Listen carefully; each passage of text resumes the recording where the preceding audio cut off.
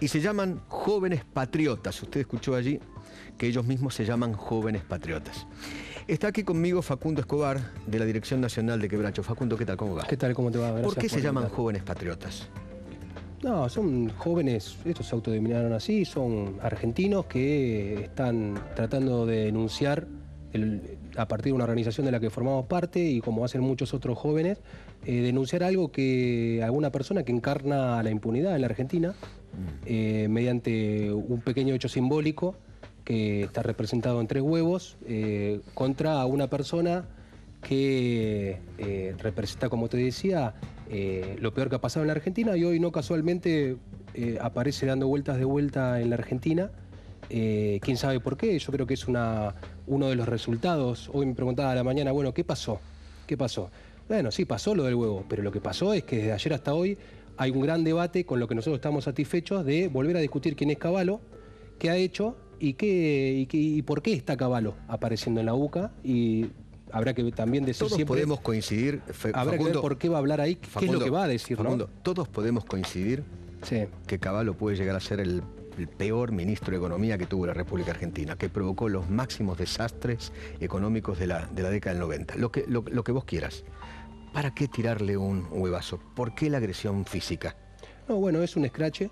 Yo no coincido, no coincidimos. La verdad histórica no, demuestra que los escraches no es una cuestión de nazismo, esto no es nazismo. Estamos, deploramos el nazismo eh, pero utilizan ese método. No, bueno, pero eso no es lo de nazismo. Pero eso usan el método nazista. Eso, eso llevó a hijos a, construirlos desde abajo los juicios contra la impunidad.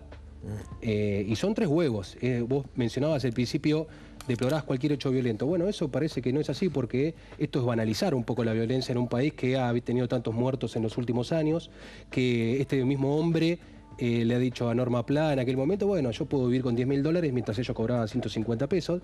Entonces, lo que nosotros vemos es que no tenemos que banalizar, al decir que todo es violencia, banalizar la violencia que pasó en la Argentina. Eh, entonces, este pequeño hecho, estos pequeños huevos que se le arrojaron a, esta, figura, eh, tratan de exponer la impunidad, que va, a persistir la impunidad. Está siendo elevado a juicio. mira, tu, jefe, tu jefe político, Fernando Esteche, durante mucho tiempo también gozó de esa misma impunidad. No iba preso por los hechos que se le imputaban en el 2010. Y tardó la justicia. Y tu jefe político seguía incendiando, provocando desmanes, tu jefe político, hasta que llegó a la cárcel. A Caballo quizás le puede llegar a pasar exactamente lo mismo.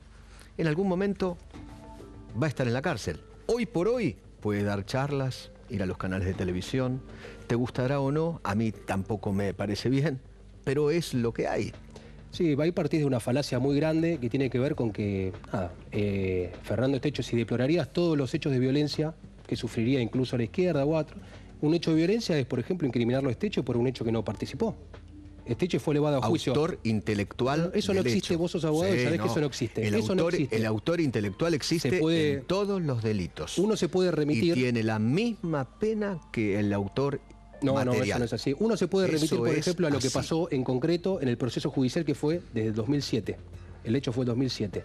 La elevación a juicio del señor Lijo, decía que este hecho no participó de los hechos, los jueces cuando reciben la elevación dicen, eh, esto, no, esto no puede, esto nosotros no lo podemos recibir.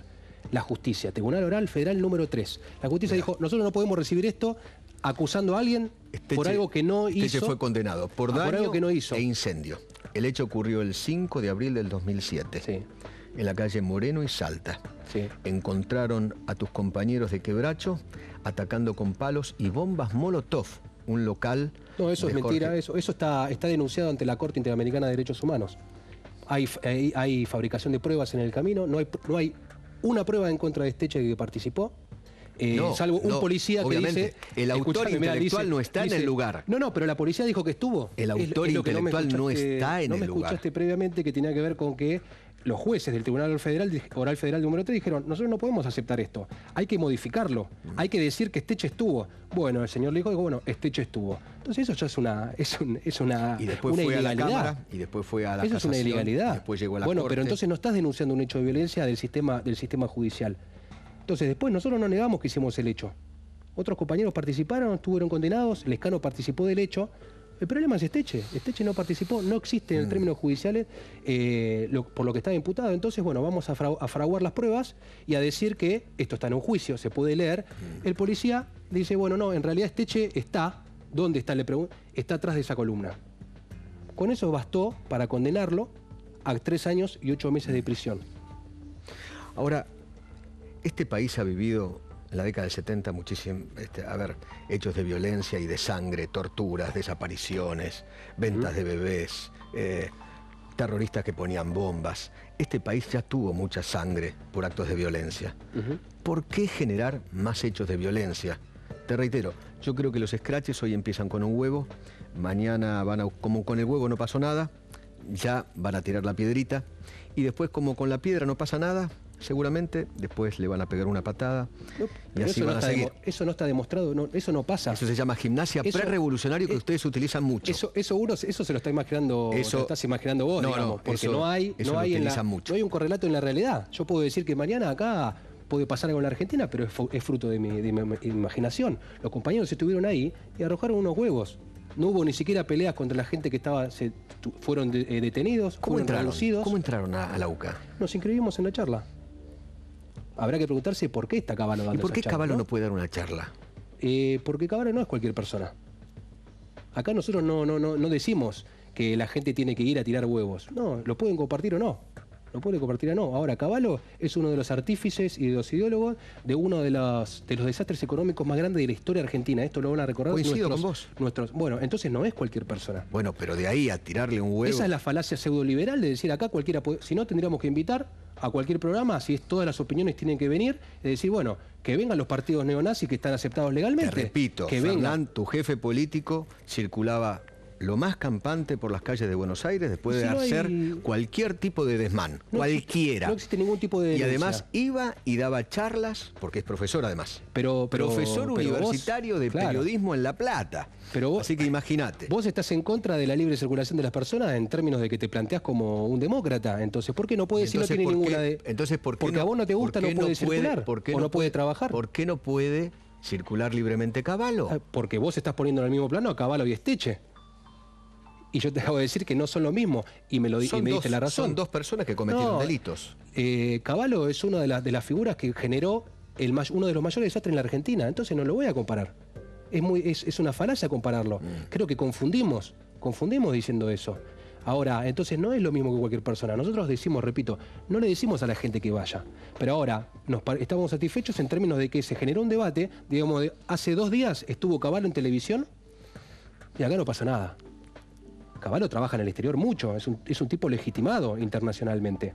Bueno, ahora, ¿qué pasa? Uno ve las redes sociales y esto, las redes sociales, las discusiones en los diarios, en la televisión, y creemos que es saludable lo que se desencadenó. Ahora, después está eso de que, bueno, yo levantaría la mano y trataría de decirle al señor Caballo lo que yo opino. Eso no, no significa nada porque él maneja, él maneja no, porque la circulación de los discursos, nosotros no lo manejamos. Eso se lo dice mucha gente permanentemente y eso no aparece en ningún lado. Si nosotros tuviésemos y saludamos esta posibilidad de venir a manifestarnos y hablar y expresarnos, eh, pero nosotros no tenemos esta capacidad. Eh, no, no, no, no, nos permiten hacer esto, porque la comunicación no es democrática. entonces tienen que si no, huevos, si no, incendiar, no, bueno, hacer todos los actos de violencia que hacen ustedes. Vos lo transmitís como si fuese algo habitual. Pero perdón, esto es una mínima parte de nuestro trabajo. Quebracho es Nosotros tenemos 18 años de existencia. Esto, es trabajo. Nosotros tenemos si me deja, 18 años de existencia, esto es trabajos en centros populares, trabajos en sindicatos, trabajos en facultades, trabajos en barrios, que se puede ir a visitar cualquiera, puede consultar con cualquiera de cualquier palo político. Eso te lo acepto. Eso lo hacemos todos los días. Los actos Esto es un pequeño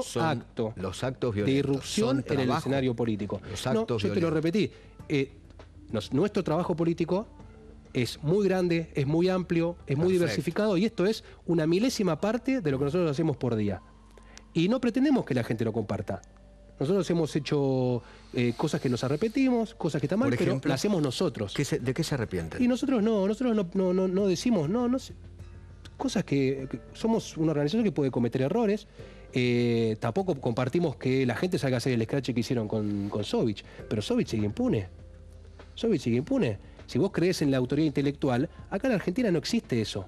¿Qué pasa con De la Rúa? Está absuelto. Si vos crees en la justicia, deberías en todo caso decir, bueno, hay una irregularidad muy grande en el caso de Esteche, hay que revisarlo, pero no vos das por hecho que Esteche es culpable. Cuando Yo no los lo hechos... dije, lo dijo la justicia. No, bueno, ¿no? pero la no justicia lo funciona así, es la verdad judicial y hay irregularidades. Y son humanos y son jueces, no es la justicia, son jueces. Entonces, en esos errores humanos que lo conocemos es una, una estructura que no es objetiva. Si no me conviene la condena, hay no es que si no me conviene, no es que no se me conviene, no es que si me conviene, no es que si me conviene. Yo confío en la justicia si me Acá no podemos decir, porque la verdad eh, jurídica no coincide con la verdad histórica, está reñida en muchos casos. Si no, vamos a decir que de la Rúa no tiene nada que ver. O que, por ejemplo, el sistema judicial. María Julia tiene cuatro condenas, a, a tres y a cuatro años. Estuvo presa. Está en la cárcel, en la calle está. Ahora. Está en la calle. mucho tiempo presa. Tres por graves delitos federales, muy, muy, muy graves, lesiones federales muy graves. Eh, ¿Qué pasó con Río Tercero? Menem más suelto. ¿Qué pasa con todo eso? Entonces acá el sistema judicial funciona para unos de una forma y para otros de otra forma. Mm. Eso es así. Está reñida. Ahora, de la Rúa está absuelto por eh, lo del 2001. Eh, vamos a creer que entonces no tiene nada que ver porque lo dice la verdad ju- eh, jurídica. No necesariamente. En muchos casos está reñido eso. Entonces, el caso es Esteche. Nosotros no negamos. Tenemos compañeros que participaron, que fueron condenados. ¿Cómo fue el proceso? Es criticable. Esteche no participó. Entonces, eso debería ser también tenido en cuenta si es que uno cree en la justicia, entre comillas, o en el sistema judicial que tiene graves irregularidades. Eh, ¿Entendí mal o, o uno de los atacantes allí dijo que te vamos a seguir, te vamos a perseguir? Sabes que sinceramente no sé qué, qué dice, pero sí fueron insultos, fueron, se le dijo vendepatria, cosas que nosotros creemos. De hecho, la Constitución y el Código Penal eh, eh, contemplan ¿La traición a la patria? la sí. traición a la patria. Claro. Bueno, pero esas cosas no se explican. Acá con- nos conviene, las leyes son las leyes son relaciones de fuerza. Acá a algunos le conviene y a otros no le conviene. La oposición estaba con la ley, yo- nosotros estamos en contra de la ley antiterrorista. Ahora, la oposición la aplaudió cuando se iba a, aplicar para el pueblo. Ahora, que se la querían aplicar, después recularon, pero se la querían aplicar a las empresas, hay que derogar la ley.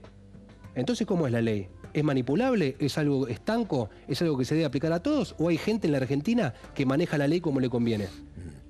Yo, yo respondo con lo último. Hay gente en la Argentina que tiene poder sobre la ley, que tiene manejo, tiene poder sobre el sistema judicial y eso se maneja.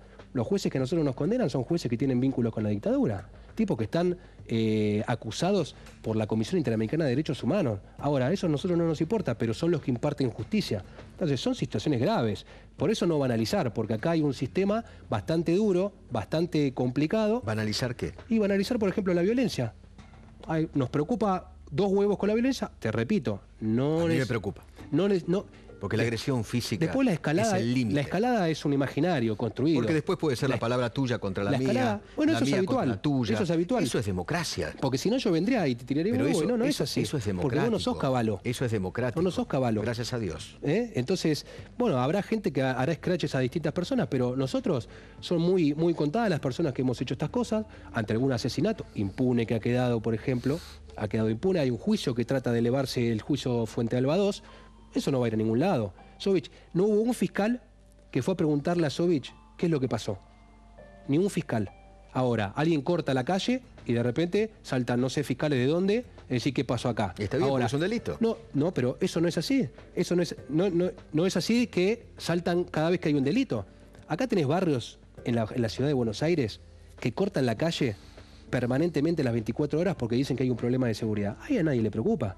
Acá hubo linchamientos en la ciudad de Buenos Aires, en el Gran Buenos Aires, en distintas partes del país. Ahí no pasó nada. No hubo nadie que fue, no hay ningún culpable. Mataron a un pibe, lo dejaron tirado en la calle. Ah, no pasa nada. Entonces, ¿cuál es el, balance del accionar de la justicia? O lo que nosotros evaluamos como qué es, qué es violencia, qué no, qué está agrediendo, qué es lo que, es lo que lleva a algo peor. Esto no va a llegar a ningún lado, digamos, compañeros, no. Eh, decían, pero ¿cómo? Hoy me decían en la radio, pero ¿cómo? El límite hasta pegar la tropada. No, no es lo que nosotros queremos. No lo hemos hecho, no va a encontrar Yo un insisto, registro. hoy arrancan con un huevo, como no pasa nada. ¿Están presos estos dos chicos? No. eso nos habían dicho ¿Están hace... o no? No, no, hace Por 18 eso. años nos dijeron lo mismo. tirar un nosotros- huevo a alguien es impune. En la práctica no se El demuestra día de eso. mañana, como ya saben que con el huevo no pasa nada, después van a tirar una No, piedrita. no, nosotros no coincidimos, no, no coincido con vos. Es lo que dije al principio. Hoy me preguntaste, ¿qué pasó hoy? Y yo digo, bueno, te expliqué que hubo un scratch. Bueno, hoy venía pensando, si me pregunta de vuelta, digo, bueno, eh, ¿qué pasó hoy? Y entre ayer y hoy pasó un gran debate a partir de tres huevos.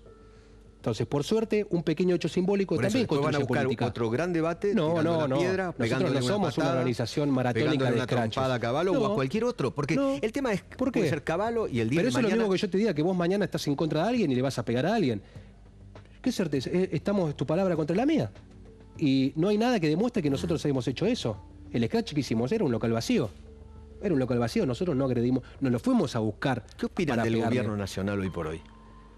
No, y nosotros nos parece que han tomado, eh, por ejemplo, ahora que está Caballo en esta situación, hay una coyuntura bastante complicada que tiene que ver con una ofensiva con respecto al problema de la deuda externa, que creemos que podrían haber tomado una, orientación política que nuclee el gran movimiento popular en torno detrás del problema de la deuda, cosa que no se aprovechó lamentablemente.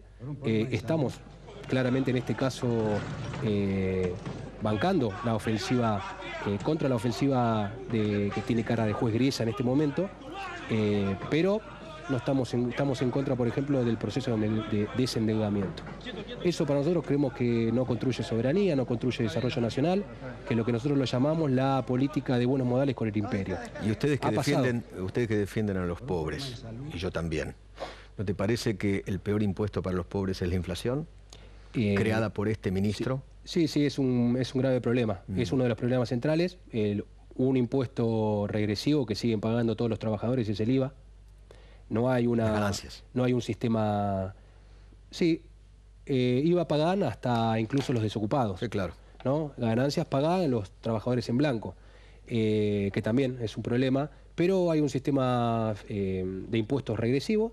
Eso por un lado, y después creemos que eh, nosotros no, no, no, hemos estado nunca eh, eh, formando parte de la fuerza política del gobierno, pero hemos acompañado algunas políticas en términos de que creemos que se tratan de políticas históricas del movimiento popular. Por ejemplo, saludamos la nacionalización de IPF, militamos la ley de medios, nos parecen muy bien muchas leyes que construyeron, el proceso de nacionalización de las AFJP, una serie de políticas que los juicios de lesa humanidad, que son muchas de ellas banderas que ha venido tratando de construir el movimiento popular durante mucho tiempo y en algún sentido nosotros no nos importa, no nos fijamos, no estamos en el antikirchnerismo, no estamos con el kirchnerismo, estamos en una situación extraña en el medio de todo eso porque creemos que existe un espacio muy grande que no es ni kirchnerista ni antikirchnerista. Entonces hay ahí algo grande que es auspicioso en términos de construcción de otras herramientas políticas eh, y el gobierno eso lo ha desaprovechado en alguna medida eh, y acompañaremos también los embates. Hemos siempre dicho algo que es eh, en todos los. Nunca nos van a encontrar. Esto es una frase eh, cerrada, pero nunca nos van a encontrar en el lado de la antipatria. Siempre vamos a estar junto al pueblo, en, el, en la vereda del pueblo. No nos van a poder encontrar nunca del otro lado. En hechos violentos. No, estamos hablando de política, estamos hablando de política, estamos, hablando, de, estamos hablando de, otra cosa, no un hecho simbólico, estamos hablando de políticas de Estado ah. que hemos acompañado en la, pelea de la 125, por ejemplo, nos parecía, no estuvimos en ninguna de las dos situaciones. Nos parecía una pelea por un sistema que es bastante nefasto en los términos económicos, pero creemos que hay un, estado, una situación auspiciosa en términos de, fuerza política popular que se ha construido mucho en los últimos años. Facundo, por último. Sí. ¿Reivindican totalmente lo que ocurrió ayer con Caballo? Sí, reivindicamos, reivindicamos el scratch, reivindicamos los huevos y reivindicamos fundamentalmente eh, la repercusión en términos de que hay mucha gente hoy eh, volviendo a preguntarse qué hace Caballo y preguntándose puntualmente qué, hay detrás de esto. Digamos, ahí paralelamente, por ejemplo, estaba viendo un congreso eh, de genocidas de nivel internacional, donde estaba, por ejemplo, Vicente Mazot hablando de forma paralela. Entonces, hoy se preguntaba también el, responsable del Cedronar. Decía, ¿qué, ¿acá pasa algo? ¿Que ¿Es todo coincidencia justo? Bueno, nosotros creemos que hay una revancha neoliberal que asoma, que se ha eh, ensañado con nuestros compañeros para Esteche particularmente para, para encarcelarlo y condenarlo, a través de un proceso irregular, eh, y que va asomando los dientes. De hecho, hay que, hay que retrotraerse a fin de año pasado, con los, hubo una devaluación, la inflación continúa, eh, la gente de la sociedad rural argentina diciendo nosotros vamos a desfinanciar el Estado porque a nosotros no nos importa, eh, acaparamos el grano y lo vendemos cuando queremos porque nuestro eso significa desfinanciamiento del Estado y los procesos de desestabilización tienen un fino correlato con los desfinanciamientos de los estados. Está bien. Entonces, eh, lo de la Shell, lo del dólar. Todas esas cosas pasaron y creemos que pueden volver a pasar en breve. Facundo, gracias por venir. No, gracias a vos. Hasta luego. Hasta luego. Hacemos tránsito y ya venimos.